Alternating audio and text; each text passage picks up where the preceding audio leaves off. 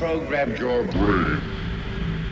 Hi, everybody, and welcome to the Frank Factor. If you've been relying on the mainstream media for your news and information, you probably don't know about Democrat Dennis Kucinich introducing an impressive 35 articles of impeachment against George W. Bush.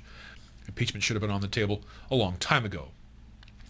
For the record, I believe George W. Bush and his co-conspirators are guilty of war crimes, even if the administration acted by choosing to believe select intelligence that supported the claim that Iraq had WMD. There was never any credible evidence that Iraq presented an imminent danger. The war was sold to the American people by a deliberate effort to deceive. The Bush administration pushed propaganda into the media to support their fraudulent claims as fact, and the media, propelled by fear and greed, aided and continues to aid and abet that criminal activity. The administration acted in collusion with corporate entities, private consultants, and political supporters in secret and to the exclusion of the American people. The criminal activity of the Bush administration eclipses the illegal activity of nearly every administration in our nation's history and has eviscerated America's credibility around the world.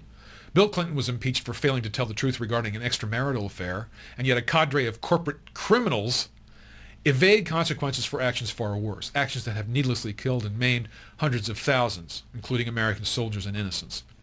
All the while funneling billions of corporate billions of dollars to corporate benefactors and plunging America into debt. No doubt some of you are hiding behind Congress having voted to grant the president the ability to go to war with Iraq as justification for the Bush administration's catastrophic deceit, but that argument is baseless because fraud trumps consent.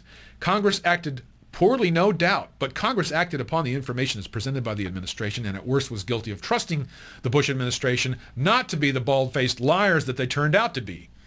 A major step towards regaining respect as a nation would be to live up to our own Constitution and rule of law, to set a precedence that not only will Americans not accept marital infidelity, but we will not suffer war criminals. And moreover, for those who are making excuses and straining to justify the Bush administration and to discredit my claims, you might want to answer some questions honestly, if you have the courage.